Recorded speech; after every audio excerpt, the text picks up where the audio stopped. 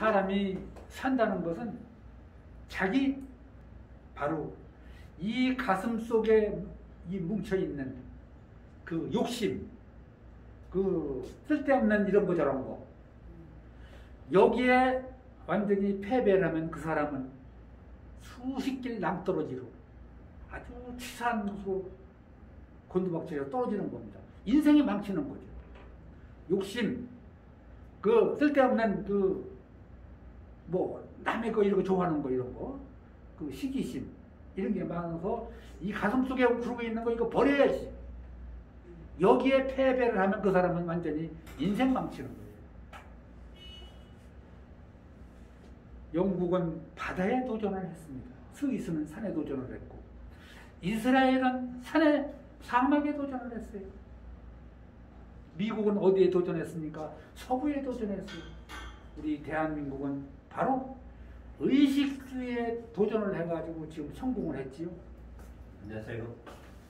사람이 산다는 것은 비바람을 맞으면서 그 심한 그 고통을 이겨나갈 때, 그 고통을 이겨나갈 때 바로 기회가 온다는 것입니다. 어느 한 신사가 세상에 사람이 산다는 게 무엇인가? 이걸 집에서 연구를 연구를 하다가 영 답이 안 나와가지고 짐을 보따리를 싸가지고 산으로 들어갔어요. 도대체 사람이 산다는 게 무언가? 삶이란 무엇인가? 석 달, 열흘, 1년, 2년 거기서 뜻이 나올까 나올까 있다 있다 연구를 하고 생각을 하고 해도 안 나와 답이 안 나오는 거야. 그래서 보따리를 싸질머지고 에이 고향으로 돌아가야지. 서울역에 앉아가지고 실험에 잠겨 있는 거예요. 내가 지금 3년 됐는데도 이 더덕을 못하고 고향으로 가다니.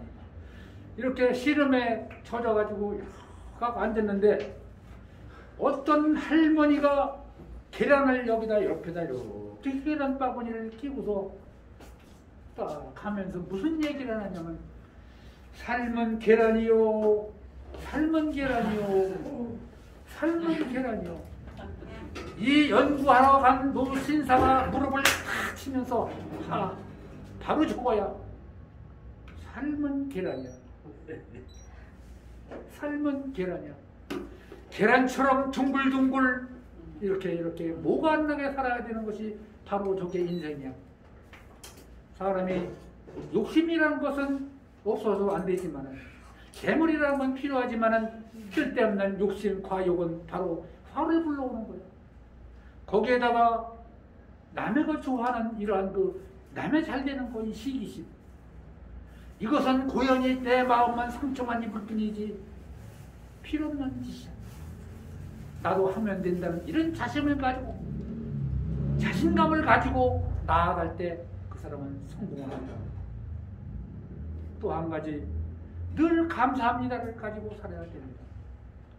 여기 내가 여기 와서 지금 이러한 거 얘기도 하는 것도 감사하고 여기 책상에 앉아서 지금 공부하는 선생님들도 감사하고 내 건강하게 여기 와서 지금 있는 이러한 그 상황도 감사. 늘 감사함을 입이다 달고 살아야 된다는 거예요. 우리 한번 집에서나 가정에서나 밖에서나 이 세상에 살아오는 것을 감사합니다를 늘 머리에 두고 살아가셨으면 좋겠습니다. 여기서 박수 한번 나가요. 어느 가정에 늦깎이 아들을 하나 뒀어요. 이 아들이 이름이 갱신이야, 갱신. 네?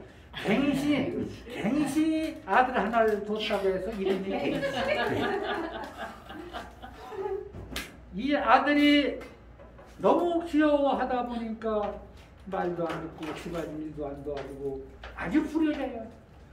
귀엽게 키우다 보니까 우리 흔한 말로 참 싸가지가 없어.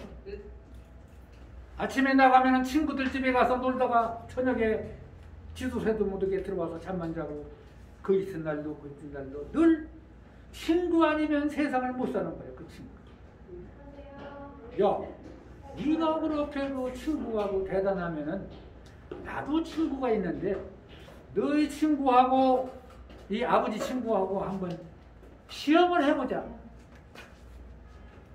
해서 한번 네 친구가 진짜 친구인가 아버지 친구가 진짜 친구인가 시험을 해보자. 아버지가 내년 봄에 딸 맏들 막내딸 시집 보내려고 그때 잡아서 쓰려고 한 돼지를 잡아가지고 가마에 떼기다 뚫뚫 뭉쳐서 아들한테 치웠습니다. 예. 이것을 치고 가서 너희 친구들 집에 한번 가보자. 너희 친구한테 가서 내가 시키는 대로 해. 내가 어떡하다가 사람을 죽였는데 이게 예? 어떡할 수가 없어서 내가 여기 왔는데 좀 도와달라고 이런 얘기를 하란 말이야. 그 아들에다가 이 돼지 아닌 시체를 짊어지고 그 친구네 아들 친구네 집을 가서 물을 두드렸어요. 물을 두드려서 야, 야야 순돌아, 내가 왔어. 아이 어쩌게 아까 금방 간지도 얼마 안 됐는데 왔니? 아니야.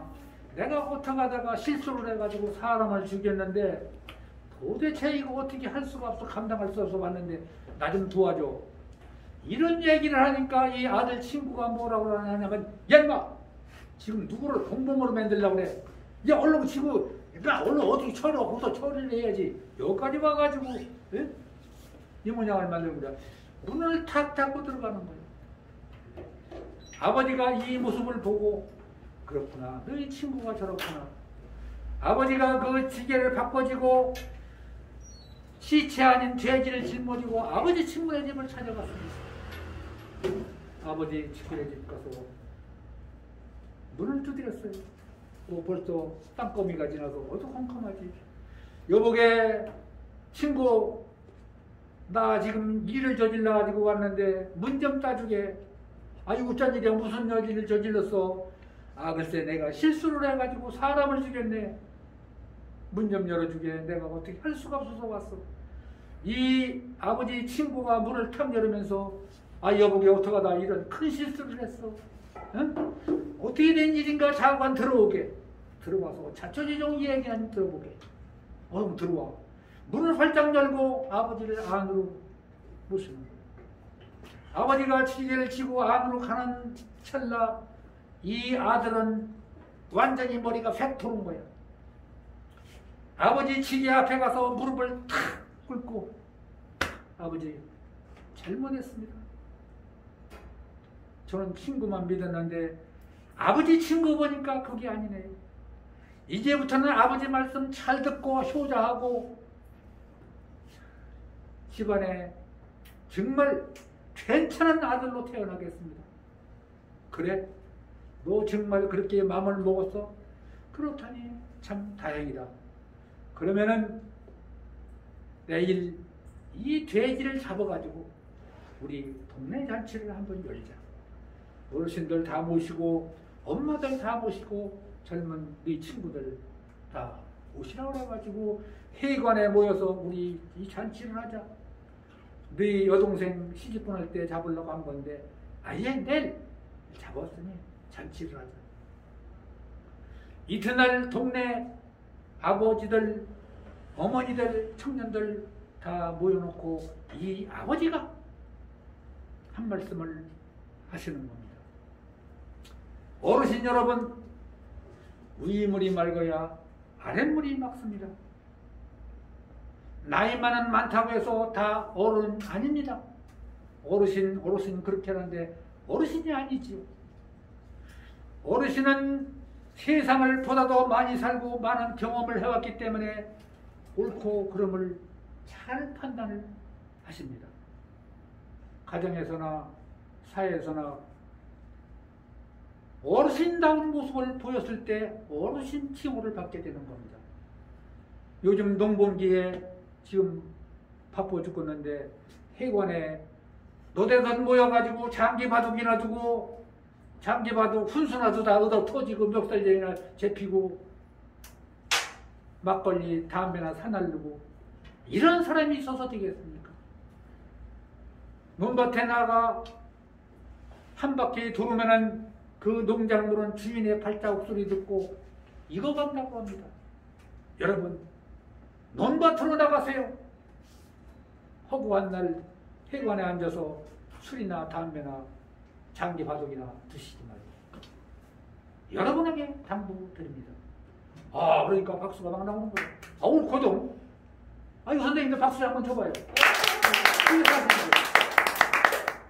이쪽에 젊은 아들 친구들 와 있는데 여러분 우리 아들 친구들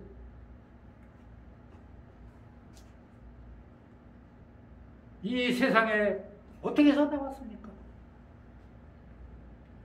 어머니가 열 달 동안 태교를 하면서 어떻게 하면 우리 자식이 똑똑한 아들, 건강한 아들, 공부 잘하는 아들이 될까? 그냥 사과도 좋은 사과 먹고 그냥 또 음악도 싫지만은 괜찮은 음악 자식을 위해서 이렇게 해서 여러분들이 이 세상에 건강하게 태어났습니다. 여러분 부모한테 효도를 하고 있습니까? 부모께서는 자식을 낳으면 세상의 흐름을 읽고 자식에 대한 재능을 파악을 해서 장차 이 나라에 기여할 자식으로 키우는 역정을 두시는 부모님 여러분 부모님한테 지금 효도를 하고 있습니까? 어떻게 하고 있습니까? 가슴에 손을 얹고 생각을 해보세요.